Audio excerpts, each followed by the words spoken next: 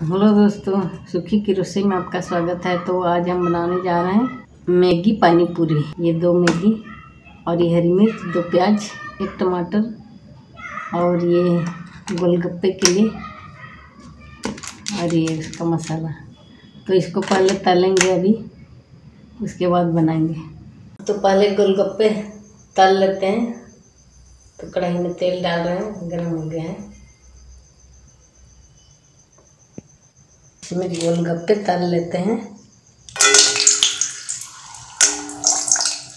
पहले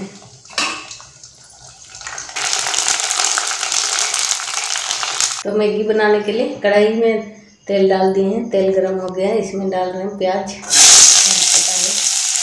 इसमें डाल रहे हैं हरी मिर्च। इसमें डाल दे रहे हैं टमाटर बारीक कटा हुआ। ये मसाला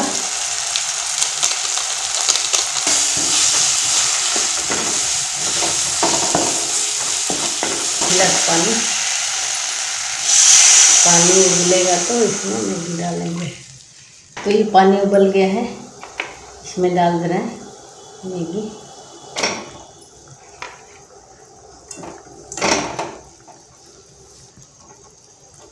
बन के तैयार है तो ये हम गोलगप्पा तल लिए हैं और मैगी भी बना ली हैं।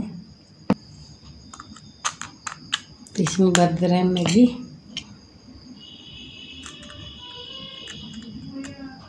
और प्याज बारीक कटा हुआ।